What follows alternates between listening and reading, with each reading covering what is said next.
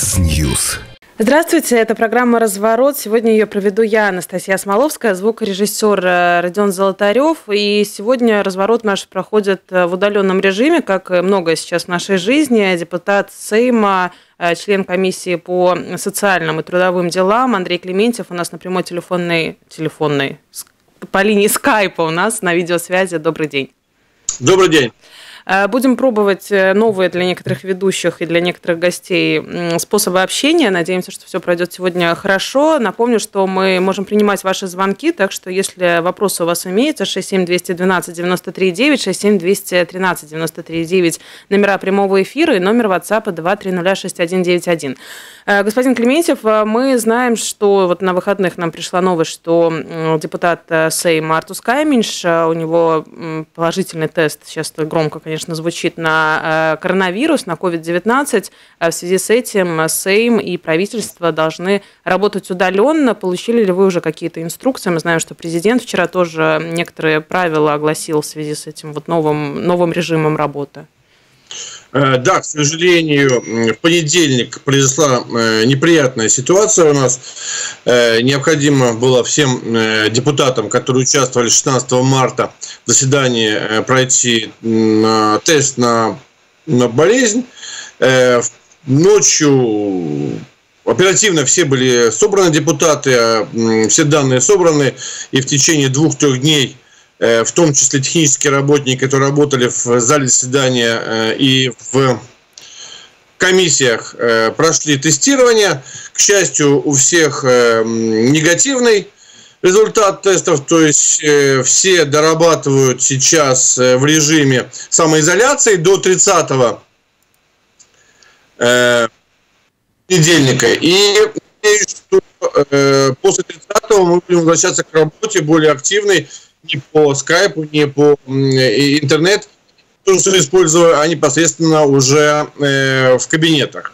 26-го будет большая очистка в парламенте, то есть э, пройдут спец, э, спецствами по тем местам, где, возможно, находился э, персона с э, позитивным тестом, и я надеюсь, и помещения будут безопасны. Вы в том числе, да, проходили тест, я так понимаю? Да, я проходил, так как я э, работал э, в понедельник, 16 марта, в зале заседания. Я не работал в комиссии с господином Каменшем, но я был в зале заседания, поэтому я обязан был пройти тест, э, как и все, которые находились в тот момент в зале. Э, что, может быть, там чуть-чуть личные вопросы я затрону, но так как сейчас э, вот, интересны все моменты жизни, как они происходят, семья все-таки у каждого депутата, у каждого человека, который общался с господином Кайменшем, практически есть семья. Семью тоже надо проверять, и они тоже в самоизоляции, или они все-таки в меньшей группе риска находятся? Значит, первый этап. В связи с тем, что констатировали у Каменша заражение – это было примерно через неделю. То есть, если в понедельник он появился в зале заседания, то есть в воскресенье он прошел тест, Поэтому, если кто-то и был бы в зоне поражения этой заразы, то, скорее всего, уже проявились бы какие-то первичные признаки. Поэтому паники не было. Э, мы отработали э, в режиме э, еще довольно активном пятницу. Напомню, что мы работали до 12 ночи, чтобы принять все решения и утвердить, которые принял Кабинет министров. Поэтому в данном случае сообщение, которое было получено от администрации парламента и от публичных сетей, которое Каменч не прятал, разместил на своем твиттере, то есть приняли довольно спокойно. То есть в данном случае каждому был э, дан э, звоночек, каждому было назначено время, и мы подъезжали довольно поздно вечером к одной из станций принятия анализов на своем транспорте, проходили процедуру, там количество депутатов было много, один момент я стоял в очереди, человек 25 было, то есть очень очередь была около часа, часа 20, но все с пониманием к этому отнеслись, вернулись потом в квартире, ждали результата. Результат пришел через 18-20 часов. После результата была рекомендация в связи с тем, что проявление вируса может появиться в течение 14 дней, доработать еще в самоизоляции неделю. Э, как это будет происходить? Мы знаем, что, в общем-то, заседания Сейма не самые спокойные. Это и перебивание, и стучание молотком, и активное обменивание мнениями. Как это возможно? Как это возможно? Мы пока слабо себе представляем это. Что, что нет, э, что касается э, после тестирования, естественно, мы будем стараться выйти на новую платформу. То есть задание президиума в данном случае в кратчайшие сроки разработать возможность работать депутатом виртуально. Сейчас уже на протяжении недели были встречи у администрации, которые были получены инструкции от нас в виртуальном виде, чтобы они начали переговоры для разработки специальной платформы, на котором депутаты смогут голосовать находясь у своих компьютеров. То есть сегодня, завтра мы получим инструкции от IT-специалистов. После этого мы попытаемся изменить законы так, для того, чтобы узаконить э, эти решения, которые предложены нам IT. Сегодня э, закон и карта Басролис, которая регулирует нашу деятельность, не допускает такого голосования, и он не является законным, то есть легитимным э, принятия решения. То есть необходимо изменить полностью всю процедуру принятия решения, не отстраняясь, естественно, от главных принципов Конституции, это 100 депутатов, но сделать это более интерактивным. А что вы можете сказать в общем о тех мерах, которые были предприняты достаточно оперативно? Кто-то посчитал их преждевременными, но, как показывает практика, все, все-таки нет. Насколько вы вот оцениваете действия правительства в этой ситуации, руководства страны? Я скажу, что первый раз правительство Латвии принимает решение о преодолении кризиса за счет собственных средств, за счет дефицита бюджета, за счет финансовых э, вливаний в экономику за свой счет. Напомню, что кризис 2008 года был за счет все-таки людей. Э, помните, отнимались э, часть пенсии у пенсионеров, э, были в госаппарате жесткие нормы по сокращению заработной платы до 40%, э, были требования сократить свои трудовые коллективы Э, у госпредприятий и так далее. То есть э, опыт 2008 э, года, когда реализовались все так называемые мероприятия по преодолению кризиса за счет людей, надеюсь, остались в истории. Евросоюз и Еврокомиссия разрешает сегодня Латвии увеличить госбюджет, разрешает взять в долг на финансовых рынках, и я надеюсь, 2 миллиарда это будет только начало для того, чтобы восстановить нашу экономику и успешно выйти из кризиса. Э, сегодня потерять э, человеческий ресурс мы не имеем права. Если в 2008 году э, в рамках вот этих карательных методов удержания экономики, бюджета – обернулись э, сумасшедшим выездом людей из страны. Выехало порядка 300-350 тысяч. Сегодня у нас этих ресурсов нет, поэтому я надеюсь, что все нормы, которые будут приниматься вот в Кабинете министров и оперативно утверждаться в парламенте, будут прежде всего для защиты национального бизнеса и для защищения как раз работающих людей на предприятии. Пока э, есть несколько вопросов по принятым решениям, но я напомню, что только неделя прошла, и требовать максимальной отдачи в новых условиях от правительства, даже оппозиции, было бы некорректно.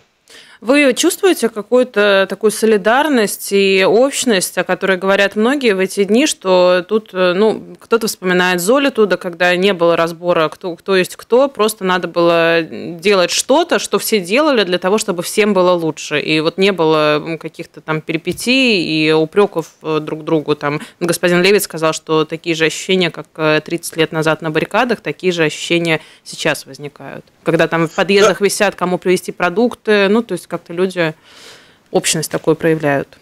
Э, к сожалению, я в самоизоляции не могу узнать, что происходит у нас э, за пределами моей квартиры, но я могу рассказать, что принятие решения в пятницу, которое разрабатывали законопроект, помогали работать Кабинет министров по специальному документу по преодолению кризиса, довольно интересная была дискуссия. Первый раз перешли от каких-то эмоциональных упреков, попытки разделить между оппозицией и оппозицией каких-то позиций Э, экономических, то есть была реальная работа э, и в комиссии в бюджетной, и в парламентском зале для того, чтобы улучшить документ. И господин Рейерс в данном случае тоже сказал, что все предложения, которые поступят от оппозиции в рамках э, новых инициатив к законам для улучшения экономической ситуации будут приняты и рассматриваться по существу, а не от рассмотрим, кто заявился на эту поправку, позиция или позиция. И то, что мы отработали до 12 часов ночи, это тоже говорит, что готов в парламент работать. Э, и там довольно много было дискуссий, которые действительно касались улучшения этого законопроекта, для того, чтобы коснуться как можно больше э, сфер. затронутых кризисом в экономике, и то, что президент вышел в субботу на работу, получил документ, расписался в нем, проверив его через своих юристов, тоже говорит о том, что власть сегодня понимает, что если сегодня мы где-то потеряем время, то может э, мы потеряем какую-то отрасль, а каждая отрасль держит 50-60 тысяч работающих. И это для Латвии сегодня э, недопустимо. Ну вот про количество работающих как раз э, по последней информации 14 предприятий на сегодняшний день, к сегодняшнему часу подали э, извещение о коллективных увольнениях. Это почти 3 тысячи работников. При этом э, министр благосостояния госпожа Петровича сегодня тоже в первой половине дня на пресс-конференции заявила, что призывает работодателей не увольнять, а подавать вот эти вот заявки на получение денег вот за простой. Что вы по этому поводу можете сказать? Может быть, увольняют людей, которые официально устроены для того, чтобы они получали, например, пособие по безработице. Как вы это видите? Э, я тоже э, вижу недоверие со стороны бизнеса к власти и боятся того, что эти пособия, которые первый раз использует Латвия как за простой, будут эффективны для сдерживания коллектива, я бы тоже не спешил бы работодателям сегодня принимать радикальные, ну, радикальные меры. Э, понимаете, что это для всех новая ситуация. Еще не, не умеют работать э, агентства, которые в подчинении государства принимают решение дать возможность э, конкретному предприятию использовать это пособие или нет. То есть все учатся. И в данном случае самое ценное – это коллектив. Кризис может закончиться через месяц, через два. Но останутся ли эти работающие или верное предприятие, которое так быстро радикально принял ну, решение уволить его? Я думаю, что нет. То есть здесь лояльность должна быть со стороны работающего и человеческий контакт с работающими. Понятно, что сегодня очень много сфер находятся в тяжелом положении. Э, гостиницы стоят пустые, без, без клиентов, без туристов. Рестораны и бары стоят пустые на карантине. То есть понятно и видно, что э, бизнес реагировал очень э, быстро на изменение экономической ситуации. Но в данном случае сегодня состояние Кабинета министров. Я надеюсь, что там будут тоже приняты какие-то определенные нормы, которые будут более выгодны для работника, чем по пособию по безработице. На это пособие можно всегда уйти и всегда воспользоваться этой нормой. Но напомню, что сегодня пособие по безработице в среднем э, в республике это чуть меньше 400 евро. То есть за эти деньги, к сожалению, э, первые даже три месяца, два месяца сейчас по новому закону,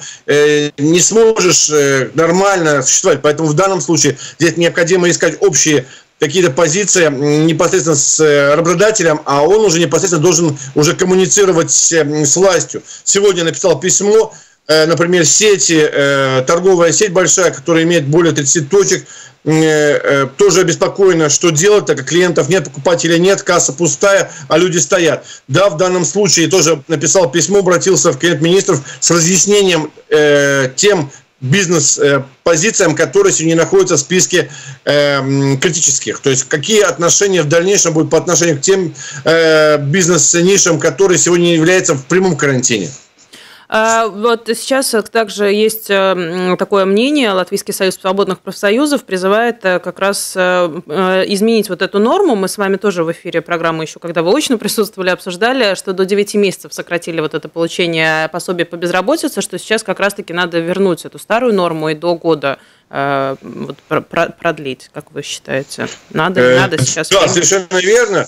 Э, господа Петрович и Министерство благосостояния создали эту норму и пытались э, ее еще и ухудшить э, в связи с тем, что они рассчитывали на прирост как раз экономической активности, на рост национального валового продукта и рост экономики планировался на 4,5%. То есть в этих условиях этими нормами они пытались э, людей как можно реже воспользоваться этой социальной нормой выход э, на пособие по безработице. В данной ситуации, конечно, это должна быть норма спасающая и, естественно, одно из э, решений – Э, Министерства благосостояния для того, чтобы уменьшить социальный удар по людям, увеличить и размер пособия, который был сокращен, и время возможное нахождение на этом пособии. Я еще говорю, сейчас самое главное сохранить людей в Латвии, чтобы не были впоследствии рассмотрены позиции о выезде из страны. Поэтому сохранить коллективы даже в случае, если они приняли решение выйти на пособие по безработице, чтобы они остались с надеждой, с выход на, э, в нормальный рабочий режим. Да, я считаю, что как с больничными листами было позитивно принято решение на последнем заседании парламента, э, и по некоторым другим пособиям были смягчены нормы. Здесь тоже одно из пособий, которое необходимо вернуться хотя бы к старой формуле. Вот это вот пособие по простою, так называемое, оно э, насколько людям должно быть понятно, как его получать? Э, понятно, что за работников, наверное, больших компаний, э, там отелей, ресторанов, это должен делать работодатель. Если это самозанятое лицо или микроузнимумс, куда они должны обращаться, насколько ясна вот эта схема, куда идти для того, чтобы получить это пособие уже там чуть ли не на этой неделе? Я согласен, что еще до конца не разработана э, формула, э, и куда обращаться. Мне сложно сегодня этот алгоритм нарисовать э, людям, которые попали в сложную ситуацию. Но в любом случае, я знаю, что документ, который был необходим на моем уровне принять, он был утвержден, передан в Кабинет министров для как раз этих технических нюансов. В ближайшее время, я надеюсь, появятся более четкие инструкции, которые можно получить в государственной службе госдоходов или в, в, в агентство занятости. Мы примем звонок, есть у нас до перерыва, наверное, ответим уже позже, после перерыва. Добрый день. Добрый день. Неизвестно, кончится 14 апреля, скорее всего, нет. Выборы в Рижскую думу тоже неизвестно, когда будут. Так может быть временно отменить этот распуск и позвать всех депутатов, пусть работают. А то такое положение, они сидят дома, ничего не делают, тоже в растерянности. Может быть, стоит их призвать к работе? Потому что ну трое человек сколько там в Думе, они не смогут за все про все. Спасибо. Угу, спасибо. Да, наверное, уже после перерыва на коротко на рекламу господин Клементьев ответит. Как раз есть время подумать. Спасибо. спасибо. Мы сейчас прервемся быстренько и вернемся через пару минут. Mix News. Мы продолжаем. Депутат э, Сейма, а также член комиссии по социальным и трудовым делам Андрей Клементьев у нас э, по скайпу. Здравствуйте еще раз. Здравствуйте. Перед перерывом был вопрос по поводу Рижской думы. Перенесены на июнь э, перевыборы, но не, придется ли их опять переносить? Э, тоже хороший вопрос. Но вот вопрос нашей слушательницы. Не стоит ли собрать обратно всех? К сожалению, закон вступил в силу, и здесь нет возможности вернуть депутатов, которые, к сожалению, сами своими действиями сорвали принятие бюджета. Я еще напомню, что э, в данном случае решение э, парламента и министра было в связи с тем, что депутаты три раза не сошлись для принятия бюджета, то есть сорвали кворум, поэтому они сами сделали свой выбор. Естественно, они сейчас сидят без зарплатной платы, они сейчас сидят как бы на э, вне э, госсистемы, поэтому если им подумать, правильно ли они себя вели. Э, да, действительно, выборы перенесены на лето. Не думаю, что сегодня можно спрогнозировать развитие ситуации. Будут, не будут решены какие-то другие сроки, но в данном случае, естественно, э, эта вся ситуация очень неблагоприятна, так как бюджет у города, к сожалению, утвержден. И поэтому сегодня оперативно действовать, э, адекватно действовать в ситуации э, эти три администратора не могут. Э, если говорить про вообще вот эту э, вне коронавирусную ситуацию, на, на фоне коронавируса и вот этой чрезвычайной ситуации, которая у нас в стране, происходит, например, отставка министра экономики, да, ну как-то все это тихо происходит. Э, к сожалению, и сочувствием ко всем родным и близким, Юта Стрихи умерла. То есть какие-то перемены происходят, да? Как, что вы насчет этого думаете? Например, вот надо было сейчас господина Немира менять, хотя вот в экономике как раз-таки сейчас нужен человек, который знает и видит, как, как и что делать. Да, к сожалению, я никогда э, не хвалил действующий состав парламента, и все действия действительно выглядят очень странно. В э, сложной ситуации э, отставка министра экономики не помогает нам решить вопросы, которые сегодня актуальны. И то, что партнер, который делегирует э, своего министра э, на эту должность. Партия бывшая Каменча, КПВЛВ, тоже не является таким интеллектуальным кладоницей, где могут выйти, найти лучшего специалиста. Сегодня просто делегируют человека, который что-то понимает вообще в какой-то терминологии экономической. В данном случае, да, мы не, они не ищут лучшего из лучшего, они просто как бы делегируют своего представителя. Поэтому не думаю, что с появлением нового э, министра экономики Э, реально э, улучшится понятие, понимание этой ситуации или какие-то новые экономические инструменты использованы. К сожалению, сейчас Кабинет министров э, действует по остаточному принципу, что есть, то и есть. И партнеры ведут себя тоже довольно странно в коалиции.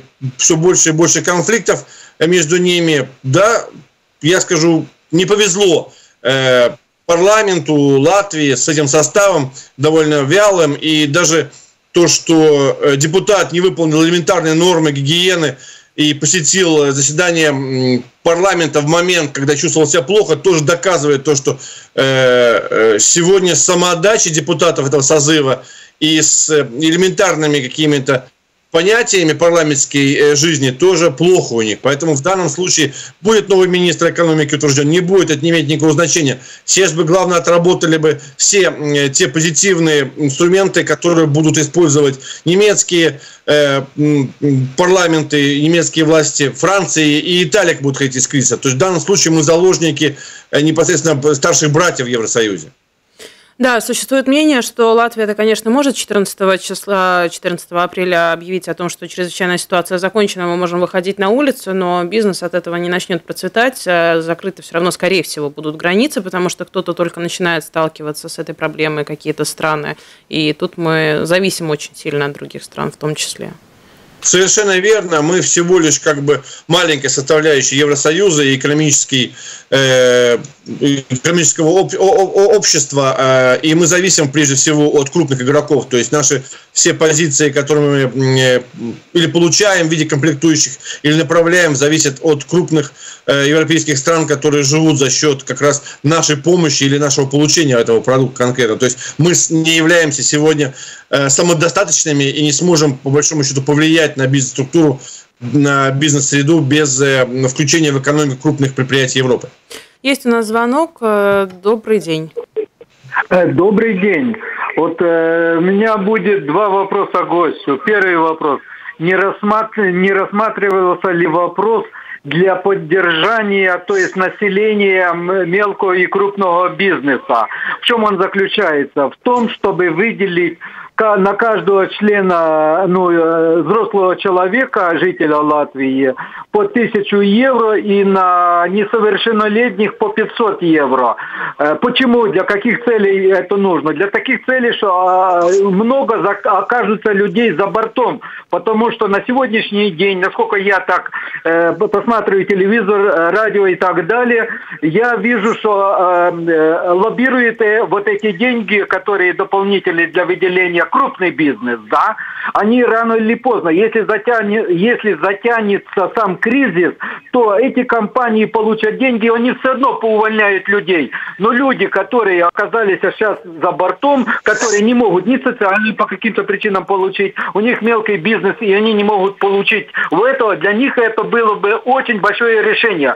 Эти деньги бы пошли бы на поддержание бы самой экономики, поддержало бы людей. У кого-то есть кредиты, у кого-то надо заплатить э, э, э, коммунальные и так далее. Э, вот этот очень важен вопрос. Америка, кстати, так да. принимает такое решение. Я прошу прощения, да? второй вопрос у вас какой? У нас не так много времени. Э, второй, э, второй вопрос, так, выскочил у меня с головы. Не буду я ну, задавать, пусть ответит на... Спасибо. Э, да, есть такая интересная такое решение проблемы в Америке как раз э, не раз то реализовывалось. Первый раз это было в момент кризиса при Обаме, когда были выделены финансовые средства в виде наличными. В Латвии и в Европе это не практикует. Э, не знаю, хорошо или плохо, но в данном случае у нас бы не было таких финансовых возможностей. Нам сегодня главное сохранить э, бизнес-среду и чтобы последствия не отразились непосредственно на людях, которые получают пенсии и пособия.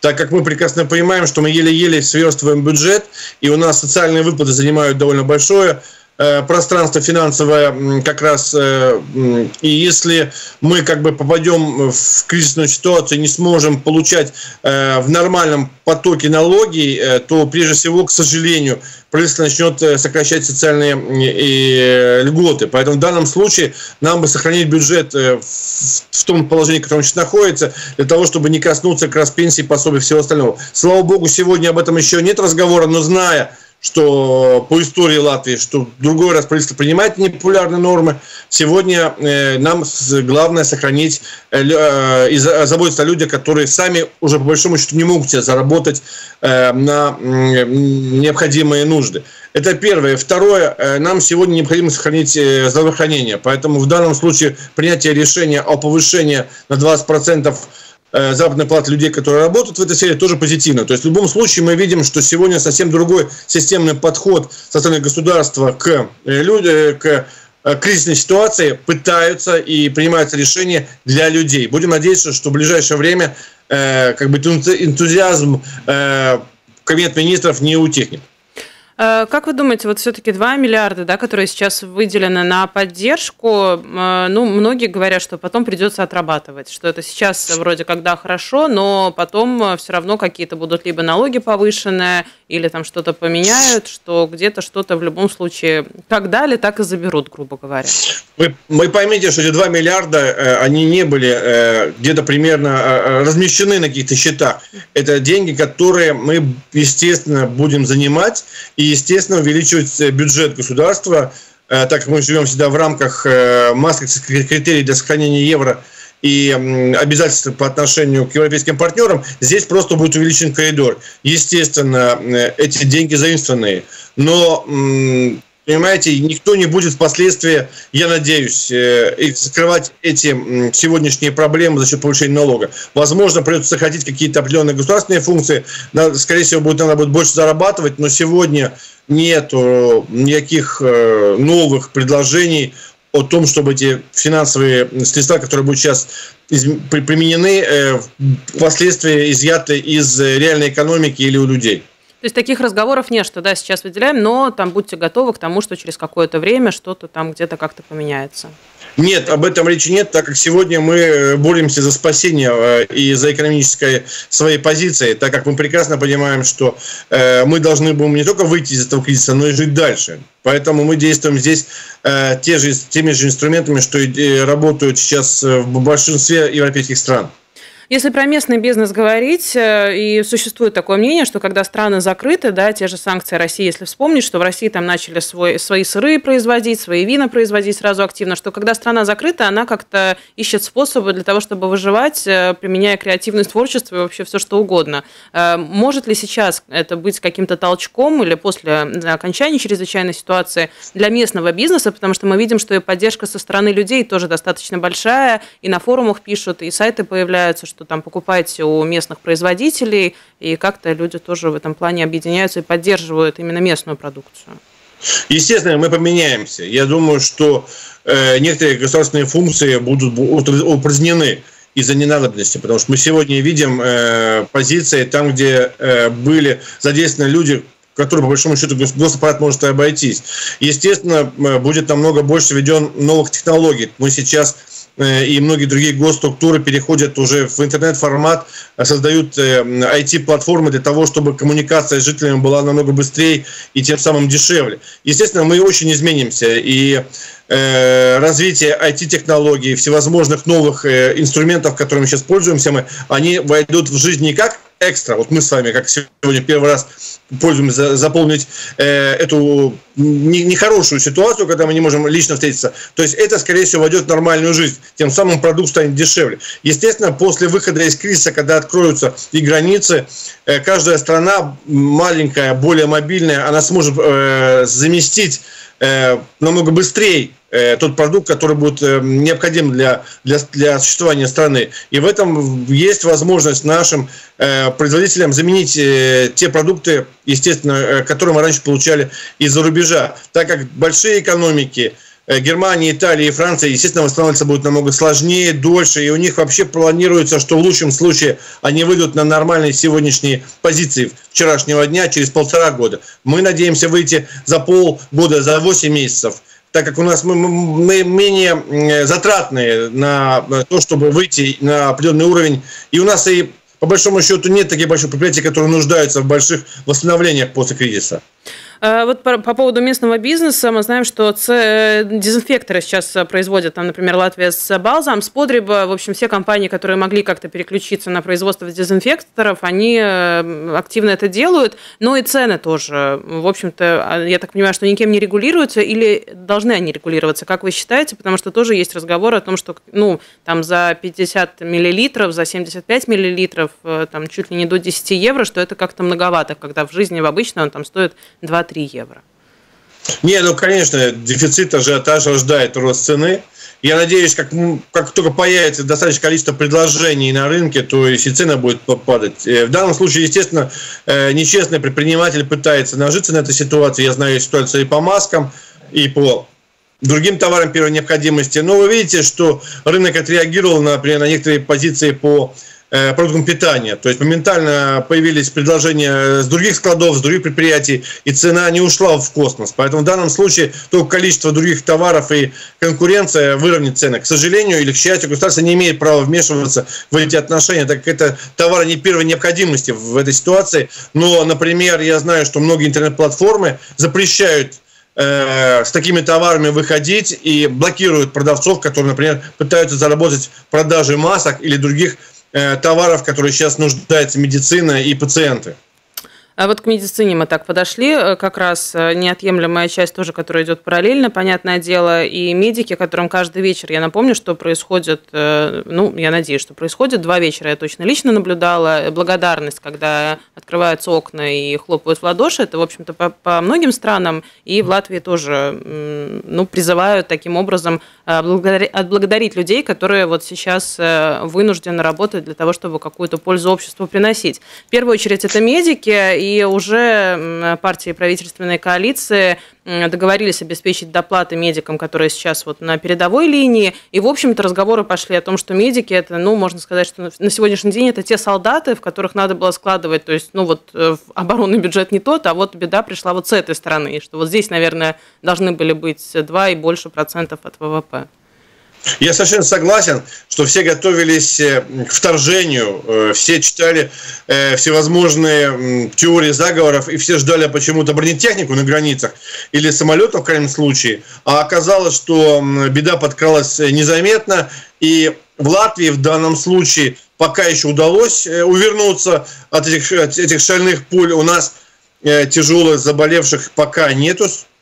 И я так помню, что и не было Сегодня на пресс-конференции никаких новых заявлениях о тяжелобольных, но, естественно, например, в пятницу, примерно пол двенадцатого ночи, предложение было от нашей партии увеличить всем медикам на 20% заработную плату, и не хватило всего лишь двух депутатов, двух голосов для того, чтобы решение было принято. Мы хотели уже сейчас заложить в документ, который был подписан президентом в субботу, э, заложить всем медикам повысить зарплату на 20%. Так как, вы поймите, сегодня повысили тем, которые сейчас на первом рубеже, то есть э, люди, принимающие анализы, обрабатывающие, скорая помощь и так далее. Но сегодня мы должны сохранить э, прежде всего людей, которые работают по всему спектру э, медицины. То есть этих людей мы должны сохранить для того, чтобы в будущем было вообще оказывать кому э, услуги медицинские. И я говорил еще раз, что после этого сумасшедшего кризиса спрос на наших медиков за, за рубежом только вырастет. Все прекрасно понимают, что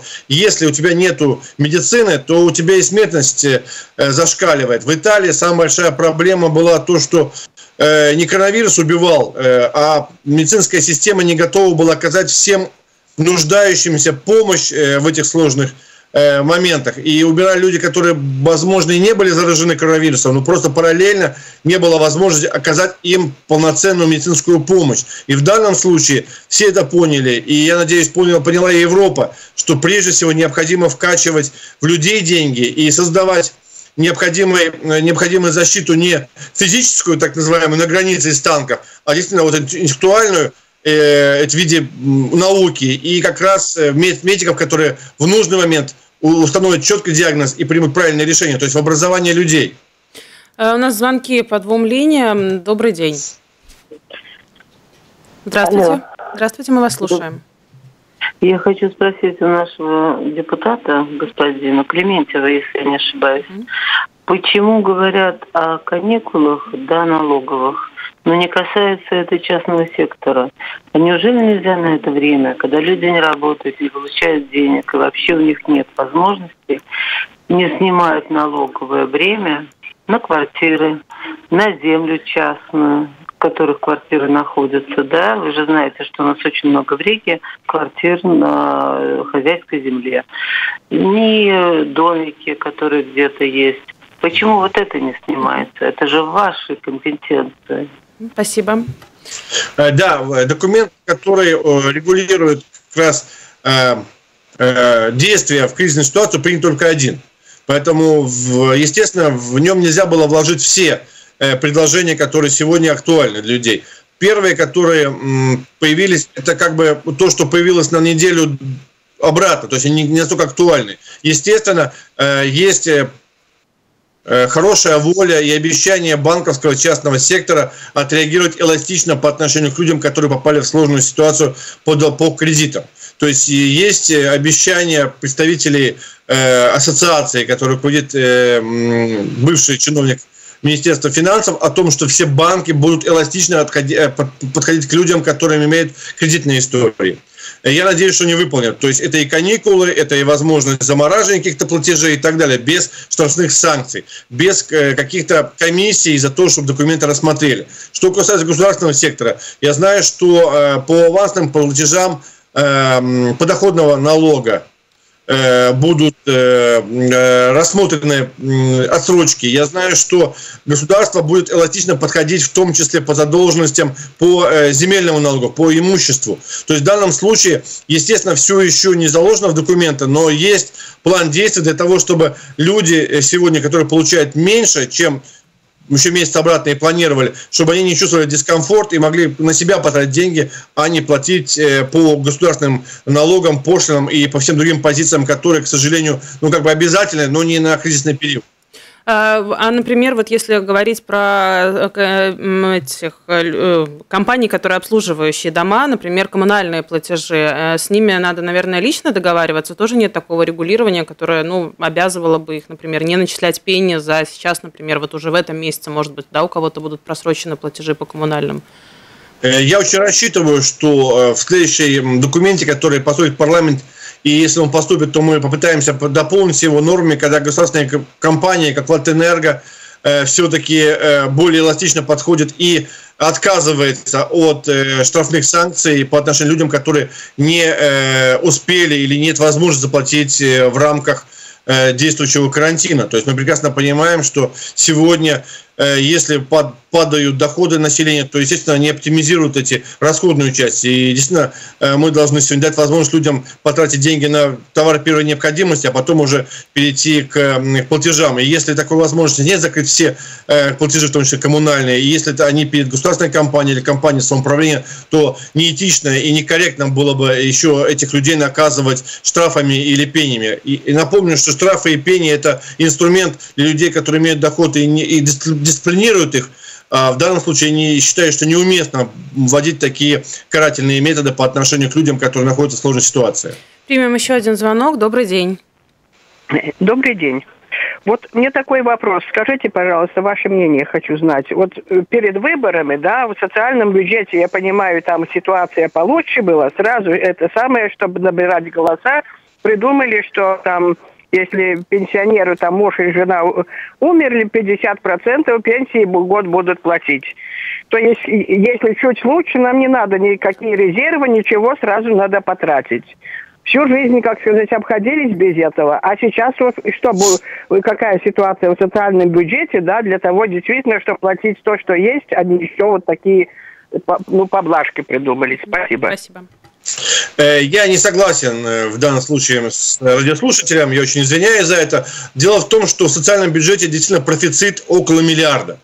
Это очень большие деньги, и я считаю, что 10% от э, так называемого процефита против вещи необходимо тратить на действующих пенсионеров. У нас все-таки солидарный бюджет, социальный и вещи, которые как бы собираются с работающих, должны тратиться на людей, которые сегодня находятся на пенсии.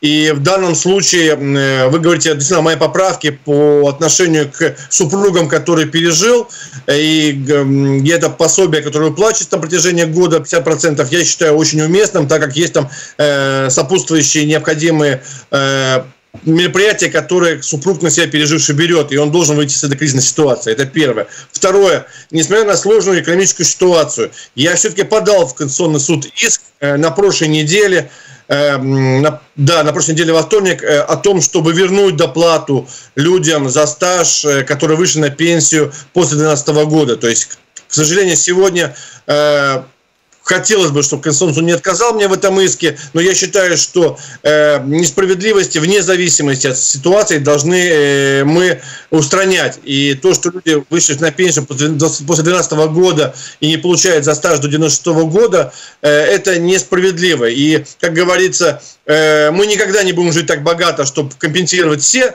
Э, долги всем нашим людям, которые находятся на пенсии. Поэтому это меня не сдерживает. И я считаю, что Конституция в любом случае, даже в сложной ситуации экономической, должен восстановить справедливость. И напомню, что э, э, если эта норма будет рассмотрена в суде, я очень на это рассчитываю, то она будет обязательно к решению и исполнению бюджетом. В данном случае я не согласен, что мы сегодня должны за счет людей, получающих пенсии и пособия, решать какие-то большие экономические свои проблемы, которые, к сожалению, были Э, очень использованы в 2012 году, как раз когда отменили эту доплату за стаж людям, которые работали до 96 года. Э, последний уже, наверное, вопрос. Коротко попрошу ответить. Не так много времени. Э, ну, может быть, не вашей прямой компетенции, но все-таки что вы думаете о дистанционном образовании? Насколько это сложно для родителей, для детей? Вот второй день. Вчера были выявлены проблемы, сегодня с ними продолжают бороться. Э, или все равно придется детям летом поучиться и учителям, соответственно, поработать? Я параллельно как раз нахожусь в самоизоляции с двумя школьниками, одному 16, другому 11, и я э, занимаюсь своими делами, но параллельно контролирую, как они выполняют домашние свои задания, как коммуницируют с преподавателями.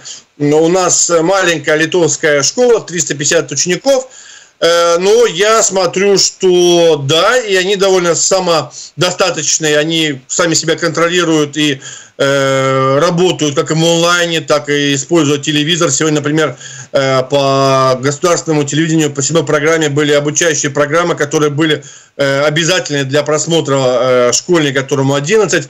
Для старшего были тесты, присланные непосредственно в онлайне, которые он должен был заполнить.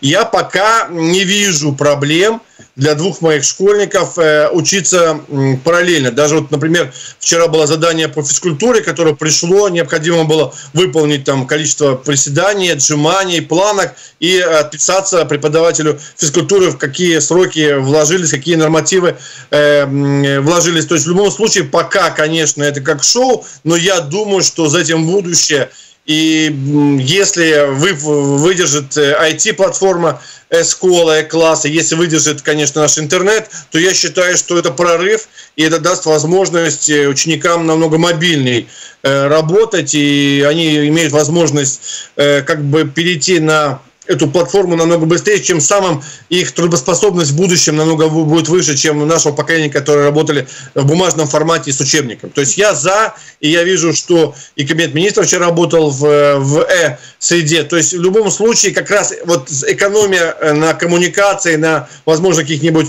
бумажных форматах, мы как раз и преодолеем этот кризис в плюсе, а не в минусе. Спасибо, депутат Сейма, а также член комиссии по социальным и рабочим делам Андрей Клементьев был у нас по скайпу. Ну, можем только удачи вам пожелать и выдержки. Здоровья сейчас всем здоровья. главное. И надеяться, что вирус не перейдет у нас в пандемию как раз в рамках республики. Спасибо вам. Всего хорошего. Спасибо. До свидания.